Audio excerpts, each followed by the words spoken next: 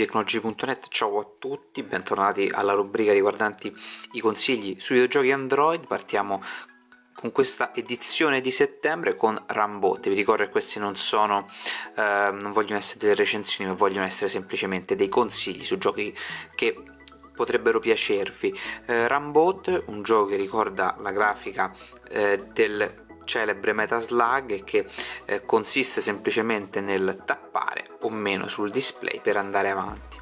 Eh, cioè voi cliccando sul display in tutte le posizioni andrete a avanzare con la vostra barca e um, il giocatore, il, il, vostro Rambo sparerà da solo eh, nel momento in cui entrerà nel raggio d'azione dei vostri, dei vostri nemici. Con uno swipe verso il basso entrerà sott'acqua, con uno swipe verso l'alto salirà.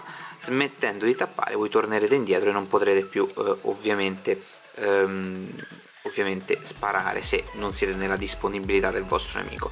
Un gioco semplice, un gioco intuitivo veramente che non richiede particolari ehm, impegni o particolari abilità, un gioco da ehm, ovviamente da eh, sfruttare anche nei ritagli di tempo senza particolari eh, impegno, senza particolare impegno mentale. Come vedete qui con un swipe verso il basso abbiamo scritto questa bomba, un gioco simpatico, veramente simpatico e soprattutto gratuito, il che eh, ovviamente non guasta mai. Il secondo gioco che vogliamo proporvi è questo Speedy Car. Speedy Car che è il gioco ehm, un gioco eh, molto interessante perché va a ehm, riprendere un po' la stregua dei ehm, Infinite Run Game come può essere ad esempio uh, un Temple Run. Come funziona? funziona semplicemente con uh, un tap a destra o a sinistra del teleschermo. Scusate del display teleschermo è un'altra cosa. Ehm, peccato per queste pubblicità un po' aggressive ma Vediamo un po' questo speedicar. Tappando a destra voi avanzerete sul lato destro, tappando a sinistra voi avanzerete sul lato sinistro. Direte molto semplice, sì, molto semplice in teoria, in pratica è un gioco eh, abbastanza complesso perché mh, i controlli non sono molto fluidi. Vi faccio vedere, voi premendo vedete l'accelerazione è abbastanza eh, irrealistica. Voi dovrete schivare taxi e furgoni e raccogliere quelle monete che vedete più avanti. Uh, L'obiettivo qual è? È quello principalmente di raccogliere monete per potenziare la vostra auto e di raggiungere eh, ovviamente la distanza mh, maggiore e battere i vostri record. Non potete frenare, potete solo semplicemente mollare il dito dal display e far sì che, ehm, che l'auto rallenti. Un gioco simpatico, divertente e gratis anche in questo caso un po' più ehm, complesso rispetto al precedente perché bisogna prendere la mano con, eh, con la gestione di un controllo che sicuramente non è perfetto.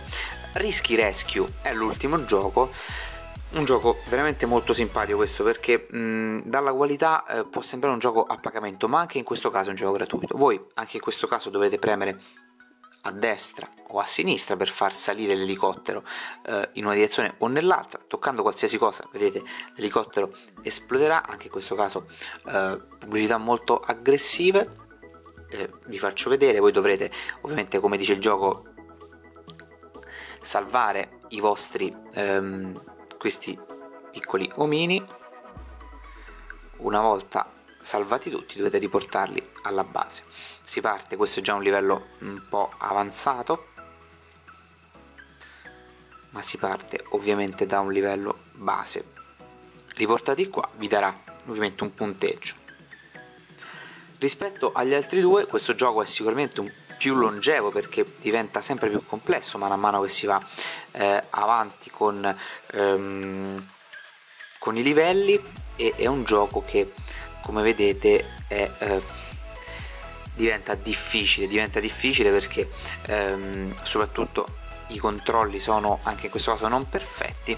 Ehm, ma secondo me prendendoci la mano può diventare un titolo eh, veramente interessante eh, perché vedete è anche molto appagante dal punto di vista estetico eh, quindi chiudiamo questa rubrica con Rischi Rescue, anche in questo caso un gioco gratuito. Um, se volete consigliarci qualche titolo particolare che vi viene in mente, scrivetelo qua sotto. Se volete che questa rubrica continui, mettete un pollice in su e ovviamente ci vediamo a ottobre con la rubrica di gaming di tecnology.net.